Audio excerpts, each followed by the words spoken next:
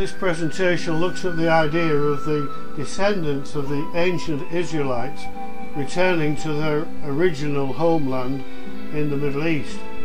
From the 15th century BC onwards, the 12 tribes of Israel settled in their promised land as described in the book of Joshua chapter 14 to 24.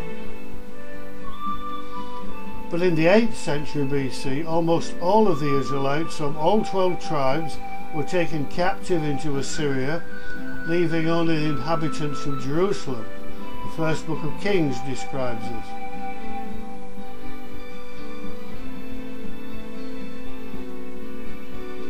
A century later, the inhabitants of Jerusalem were exiled into Babylon, and some later returned to form the small nation of the Jews, as described in the book of Ezra. But the Romans destroyed this nation in Jerusalem in 70 AD, and the Jews were dispersed.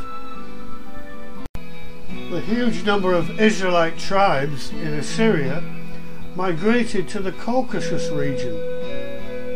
They lost their Israelite identity and became Gentiles, as described in Esdras and in Josephus. These Gentilized Israelites in this region were known as Cimmerians and Scythians, as given to us by Herodotus, Strabo, and Siculus.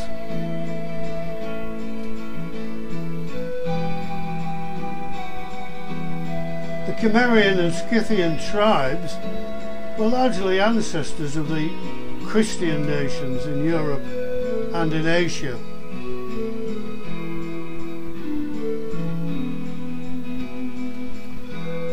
The historian Sharon Turner states the Anglo-Saxons, Lowland Scots, Normans, Danes, Norwegians, Swedes, Germans, Dutch, Belgians, Lombards and Franks have all sprung from that great fountain of the human race, which we have distinguished by the terms Scythian, German, or Gothic.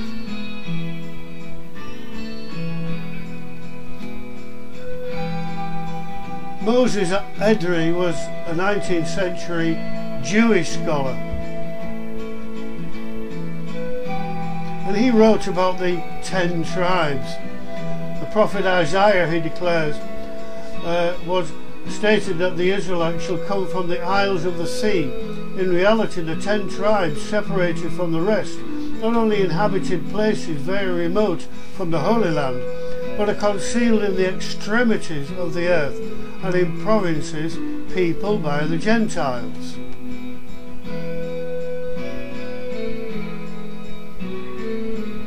The Hebrew scholar Dr. Moses Margoliouth, in his History of the Jews, says it may not be out of place here to state that the isles afar off, as stated in Jeremiah's prophecy, were supposed by the ancients to have been Britain, Scotland and Hibernia or Ireland. The expression the end of the world in Isaiah is also supposed to mean Britain, which was a common appellation for the island in remote ages. The Hebrew scholar Yair states, ten out of the twelve tribes of Israel were exiled and lost their identity. Their descendants are now to be found amongst Western peoples. This is proven from the Bible, Talmud and rabbinical sources, as well as from secular studies in ancient history, archaeology, mythology, linguistics and related fields. The prophet spoke of this. Peoples that emerged from the British Isles, including North America, represent Joseph. The Jews of the state of Israel in the diaspora are Judah. Joseph and Judah are designed to reunite. The tribes will be united in one kingdom. In the British Church newspaper was an article which described how that Jonathan Sacks, chief rabbi of Britain, was asked where were the lost tribes and where did they go and where are they today? He answered the lost tribes of Israel are probably in England if you know your Hebrew, the name British consists of two Hebrew words, Brith and Ish, which mean covenant man.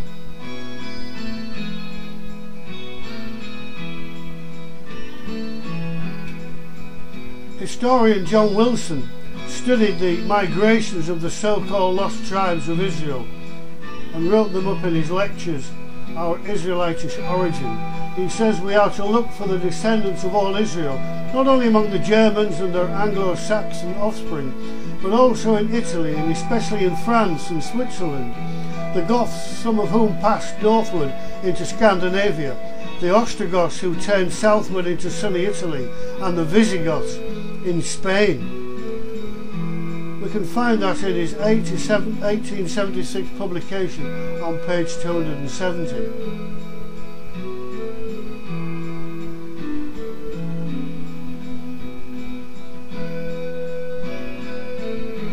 So, Jews may well be Israelites, but not all Israelites are Jews.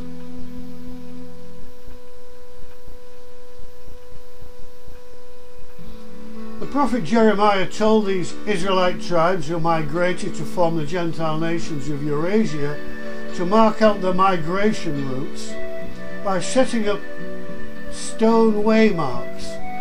We can read that in Jeremiah chapter 31 and verse 21.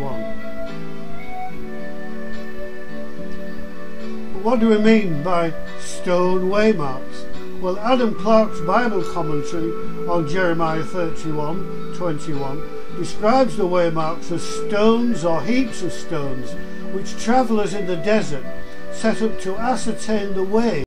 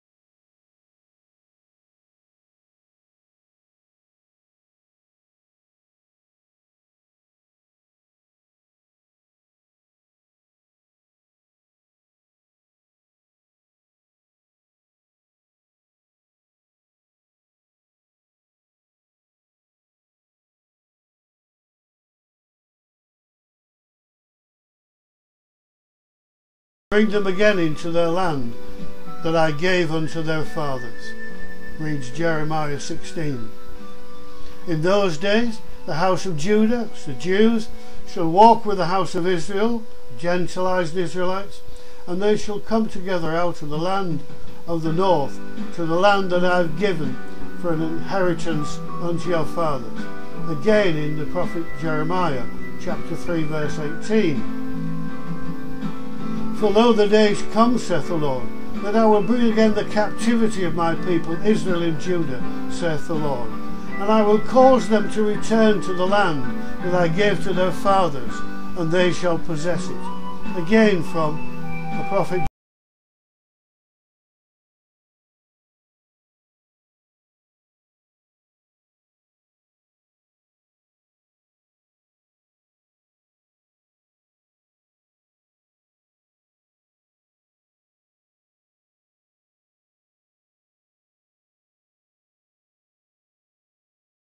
The prophet Ezekiel describes the Gentilized Israelites and the Jews as two separate sticks which are to be rejoined together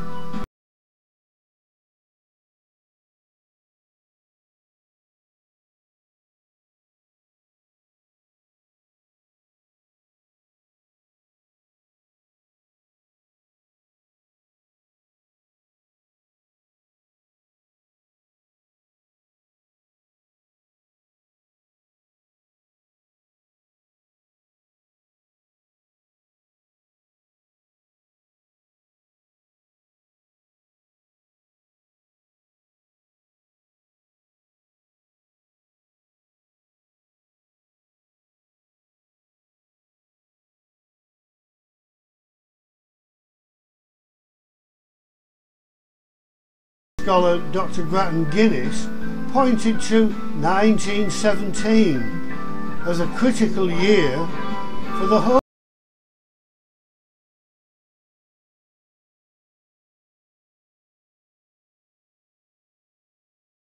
Dr. Aldersmith, who was a 19th century physician and who founded the Medical Officers of Schools Association, but as a Bible scholar he stated in his 1898 edition of his book The Fullness of Nations, any day some slight trouble may light up a great European war, which in the end may see the fall of Turkey, Russia extending her power, dominion in the east and Great Britain in possession of Palestine.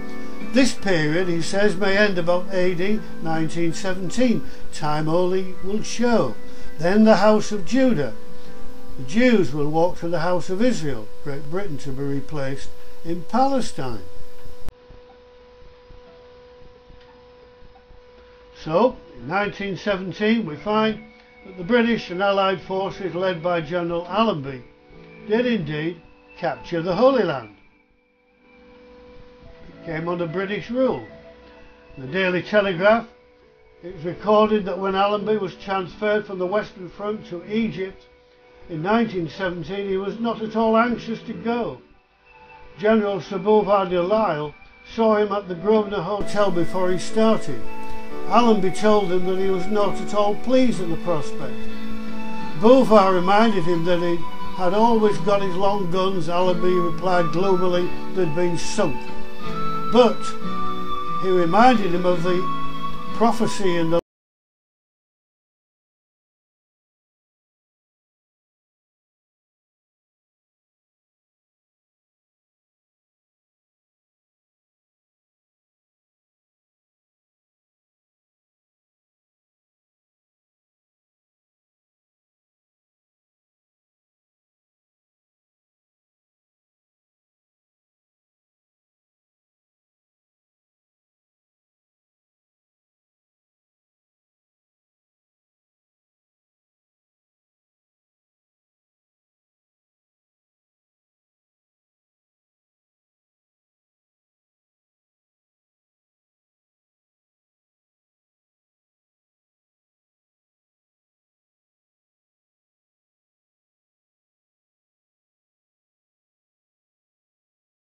States.